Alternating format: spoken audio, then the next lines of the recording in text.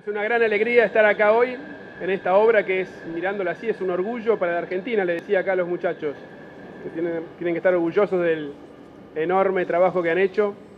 Esto es calidad de vida para la gente, gente que ahorra tiempo.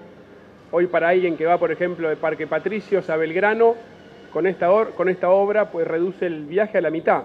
Realmente es un gran orgullo, estamos muy contentos. Esto es un verdadero trabajo en equipo que empezó con el presidente Macri en, la gestión como jefe de gobierno. Es parte de esta estación que estamos inaugurando hoy de todo un esfuerzo para que la gente viaje mejor en subte en toda la ciudad.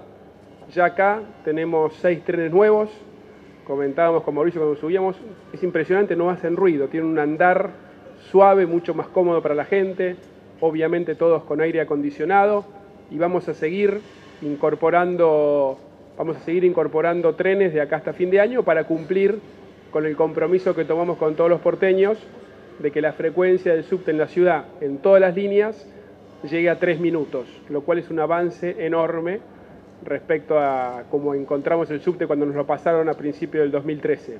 Como argentino que podemos tener una estación de este nivel es, es comparable con las mejores del mundo. Realmente esta obra que realmente la terminación de, como decía Horacio también, de nivel internacional, o sea, esta estación de subte no tiene nada que envidiarle a ninguna del mundo, y le hicimos entre todos los argentinos.